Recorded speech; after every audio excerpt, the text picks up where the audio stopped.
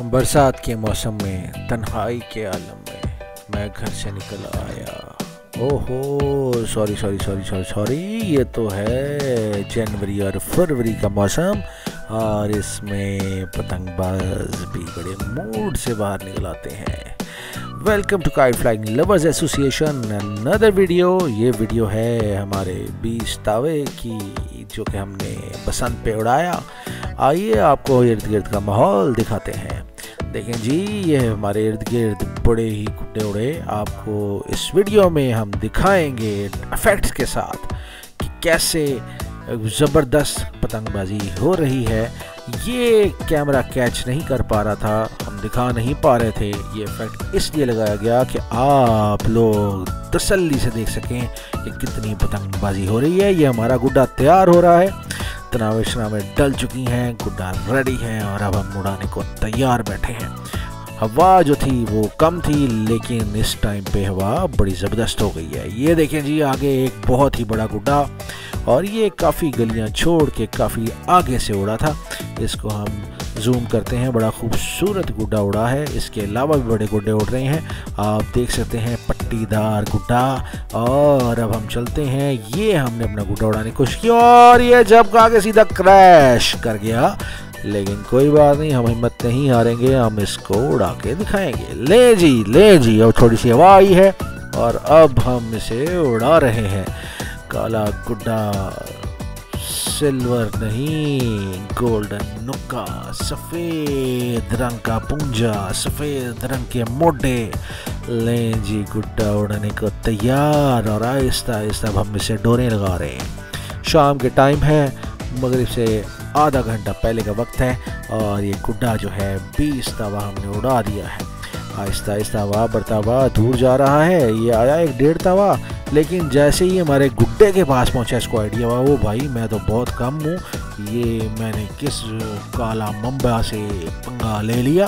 वो फ़ौरन ही उठा के गुड्डा अपनी साइड में ले अब जो है वो गुड्डा आहिस्ता आहिस्ता हम डोर लगा रहे हैं और गुड्डा जो है वो वहाँ में जा रहा है। गुड्डे देखते रहे, लेकिन देखें जी, बहुत से लोग हैं। गुड्डा उड़ाने वाले बड़े मज़े में हैं। बसंत की शाम को बड़े गुड्डे उड़ाने का मज़ा ही कुछ और होता है।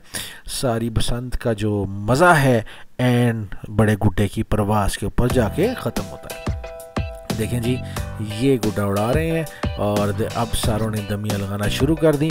ये देखें जी, गुड्डा हवा में ठुकता जा रहा है। मज़ेदार, लोशेदार, लश चस्कर आ रहा है, चस इस टाइम पे, पूरी चस्कर आ रहा है।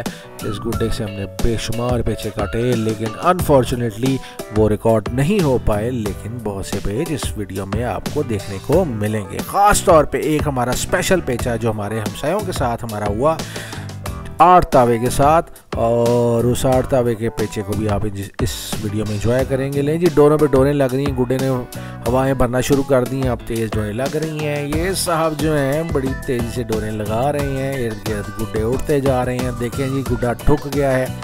अच्छा जी, गुड्डा थोड़ा सा औंधा करके उड़ाया जाता है। याद रखिएगा, बसंत हो या ना हो, बड़ा गुड्डा औंधा करके उड़ाया जाता है। अगर नहीं करके उड़ाया जाएगा औंधा तो ये आपको ही औंधा कर देगा। ये बात मेरी याद रखिएगा। आए जी, ये देखें जी, ये छः तावा लगा और साथ ही चला गया।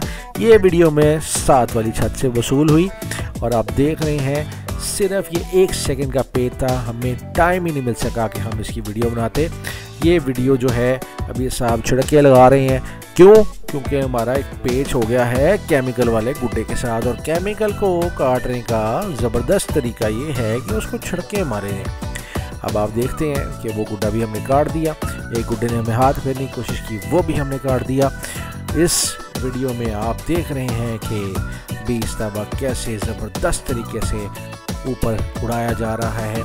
और मैं आपको एक चीज़ बता दूँ, हम इस गुड्डे की कंप्लीट वीडियो नहीं बना सके, हम इस गुड्डे के साथ इंसाफ नहीं कर सके, क्योंकि ये गुड्डा पौना घंटा उड़ता रहा और मगरब के बाद अंधेरे में भी उड़ता रहा। और हमारे साथ वालों ने, जब ये गुड्डा डेढ़ दो पीस पे चला गया था तो हमारे साथ वालों ने इसको हाथ फेर दिया।